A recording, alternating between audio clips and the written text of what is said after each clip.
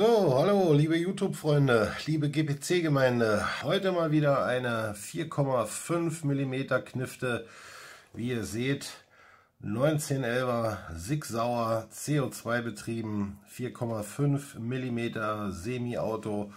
Dies Teil hier hatte ich bereits auf der diesjährigen IWA 2018 auf dem GSG-Stand ganz genau in Augenschein genommen hat mir auf den ersten Blick schon mal sehr gut gefallen. Jetzt habe ich sie hier liegen. An dieser Stelle als erstes mal wieder mein Dank an unseren treuen und langjährigen Partner, dem Damage Jagd Sport und Outdoor, der mir diese Testwaffe freundlicherweise zur Verfügung gestellt hat.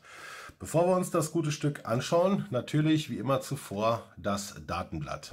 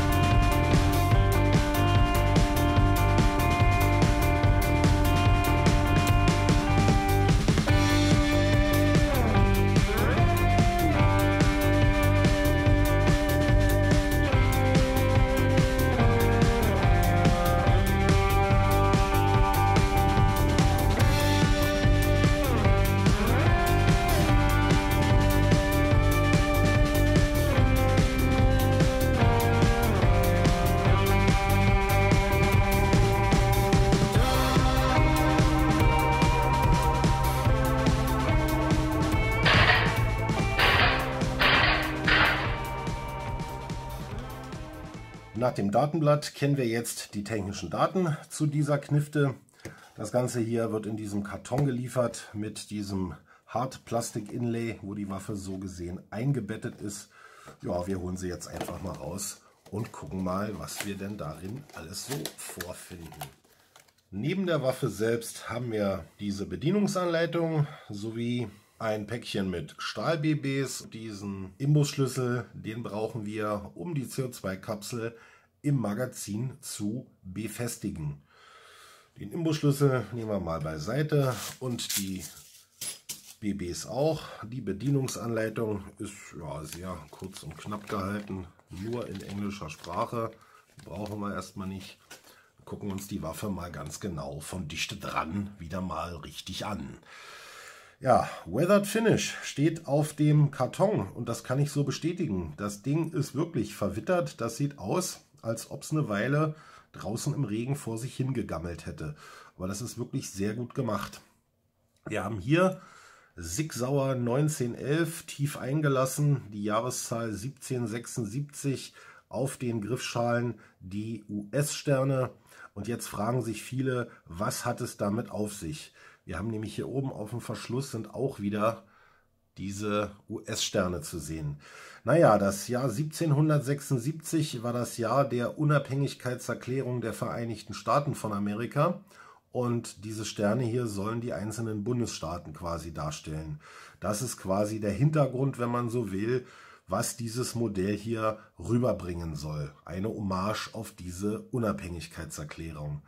Und hier sehen wir die Kaliberangabe Punkt 177, 4,5 mm, das S für Stahlkugel, das F im Fünfeck und eine Seriennummer. Die Bedienelemente hier in schwarz abgesetzt, der Verschlussfang, der gleichzeitig Zerlegebügel ist, der skelettierte Abzug, die Flügelsicherung, die man nur einlegen kann, wenn die Waffe gespannt ist, genau wie beim Original. Und abschlagen können wir die Waffe auch nur, wenn wir diese Handballensicherung hier betätigen. Das Ganze hat wieder diesen Beavertail hier, diese Verlängerung, damit uns der Verschluss, wenn er zurückkommt, nicht böse in die Hand reindonnert. Wir nehmen das Magazin mal raus. Das kennen wir schon.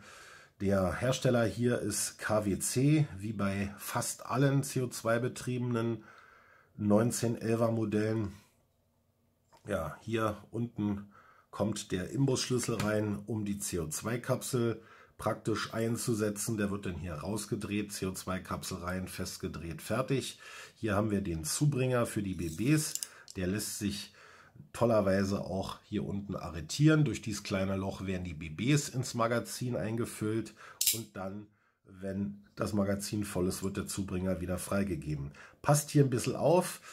Hier oben die Magazinlippe ist aus Plastik. Wenn ihr das Teil zu schnell hochschnallen lässt, dann kann das hier oben brechen. Und was auch passieren kann, wenn ihr zu viele BBs hier rein tut, 17 passen hier rein, ich glaube man kriegt sogar 18 hier rein, möchte ich behaupten, dann verkantet sich das hier sehr gerne mal und dann habt ihr Leerschüsse. Darauf muss man achten. Ja, die Waffe hat Blowback, so wie sich das jeder Sammler wünscht. Ja, wunderbar. Wir drehen die ganze Sache mal. Auf der rechten Seite haben wir hier Warnhinweise, dann Made in Taiwan und hier steht auch nochmal We the People. Der äußere Lauf sowie hier vorne die Manschette und auch, wie gesagt, alle Bedienelemente sind in schwarz abgesetzt. Die Kimme ist nicht verstellbar, aber Kimme und Korn sind mit weißen Punkten abgesetzt. Das macht das Anvisieren des Ziels deutlich einfacher. Ja, das ist eigentlich alles, was wir so drum und dran hier erkennen können. Ich halte es euch nochmal so von unten. Das Ganze erinnert mich ein bisschen an die 1911er Colt Ausführung von Umarex. Da hatten wir ja diesen Commemorative und auch dieser wurde von KWC gefertigt. Und damit ihr mal seht, dass das wirklich alles ein und das gleiche ist, hole ich den mal zum Vergleich. So, da haben wir jetzt den Umarex Colt Commemorative aus dem Jahre 2015, diese limitierte Version. Und dann gucken wir uns die Magazine mal an. Ja, ne? Ich denke, da gibt es keine weiteren Fragen. Das ist alles das Gleiche. Alles baugleich. Ja. Wie gesagt, da ist alles dasselbe, alles das gleiche. Das Design ist hier auch abgeranzt, aber natürlich etwas anders gemacht, ist aber alles KWC. Jo, gut. Den Commemorative tun wir wieder weg. Dann kommen wir jetzt mal schnell noch zur Demontage. Magazin haben wir schon raus. Wir spannen den Verschluss. Hier haben wir wieder so eine kleine Aussparung. Auch sieht man hier, denke ich. Da bringen wir den Verschluss hin. Auf der Rückseite drücken wir dann hier ein bisschen rein und können dann den Verschlussfang hier rausziehen. Verschluss nach vorne abheben. Da haben wir das Griffstück. Rückholfeder samt Führungsstange einfach so entnehmen. Die kleine Hülse kommt uns dann gleich hinterher. Hier vorne die Manschette einmal nach links gedreht. Durch diese Feder ist die Feder belastet und dann schieben wir den Lauf einfach nach vorne hin raus. Die Feder hier können wir vom Lauf abnehmen, wenn wir möchten, lasse ich jetzt drauf. Der innere Lauf lässt sich demontieren. Dann müssen wir wieder hier diese, diesmal ist es eine Schraube, die müsste man hier rausschrauben, dann kann man das hier trennen, mache ich jetzt aber nicht. Ja, hätten wir hier eine 6 mm Variante, wäre hier ein Hop-Up-Rädchen drin. Da es aber eine 4,5er ist, haben wir hier natürlich kein Hop-Up-Rädchen. Ja, so, Blowback-Unit. Das ist eigentlich alles. Zusammengebaut in umgekehrter Reihenfolge.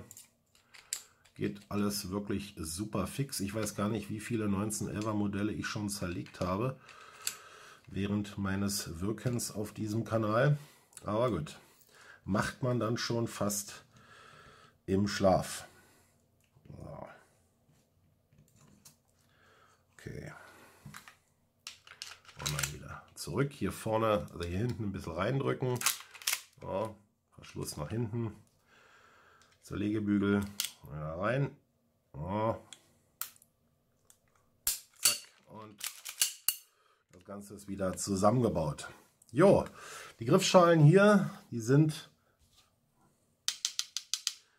definitiv aus Metall. Ja, die sind aus Metall, da ist nichts Plastik.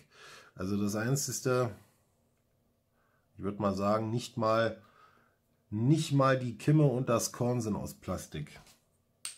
Nee. Ja, hier ist kein Plastikteil dran. Das ist ja mal wirklich eine absolute Seltenheit. Okay, Gut, jetzt haben wir genug gequatscht. Was kommt jetzt? Der Schusstest. Ab im Keller. Bis gleich.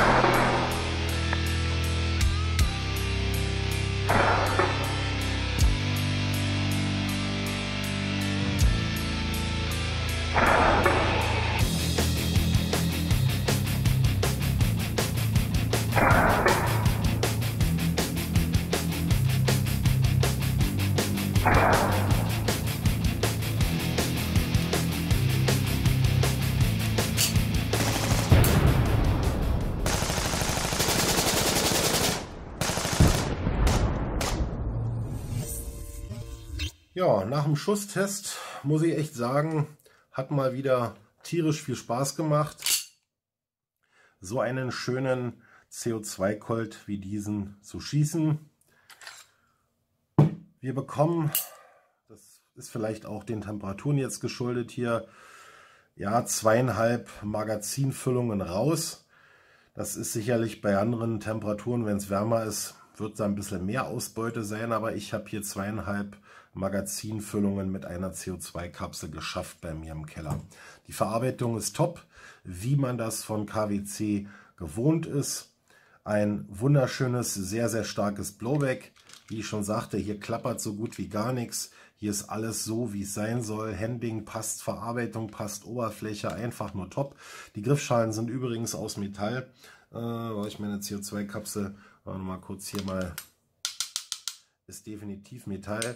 Auch hier die äh, Kimme und das Korn. Also wir haben hier äußerlich überhaupt keine Plastikteile. Das ist mal richtig, richtig top gelöst.